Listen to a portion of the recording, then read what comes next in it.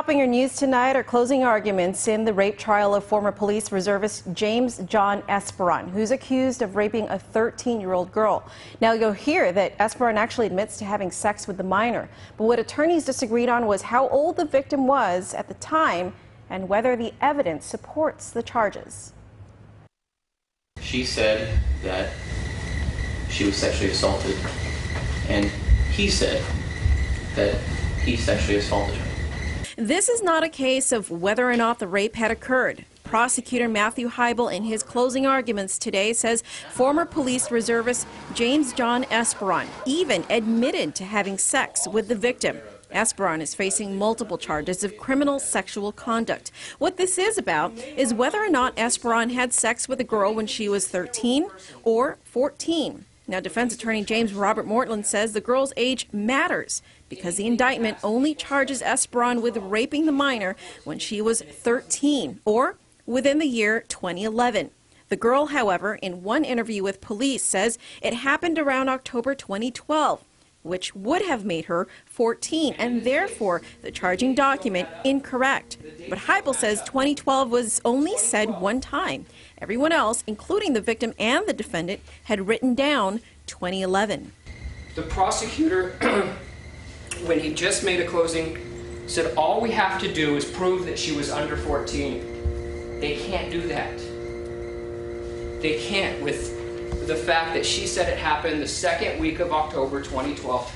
Now, defense is holding on to one date of this October 2012, but I'm going to remind you, Officer Rivera was the second person interviewed to that day. This is not the time where you let someone slide on a technicality. Attorney Mortland questioned the circumstances behind the written statement provided by the defendant and also the victim's credibility. They bring him down. It's the officer who knows him. He was a reservist at the police. He says, come on, Pari. Just, just write out a statement. Oh, come on. The officer, as you see, big officer, intimidating, had him write a statement. now, we suggested to you that just because Officer Pangilinan is a big guy, that somehow coerced him into not only saying that he did this, but writing it down.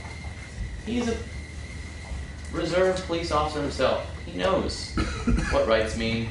He knows whether he wants to make a statement or not, and he chose to.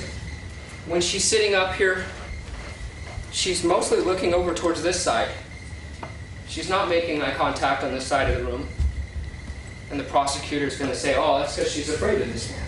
She's, she doesn't want to stare at him. She doesn't want to look at him. Oh, he's not looking at her? She's not looking at him? Why would anyone want to look at someone who took advantage of them? Who betrayed the trust of a family member Ladies and gentlemen, I'll, read, I'll leave you the quote from the defendant. After he admits to the sexual conduct, conduct, puts his head down on that table we talked about and says, I'm going to jail. Please put him there. Please find him guilty. Once jury instructions are completed, the case will be turned over to the jury to deliberate.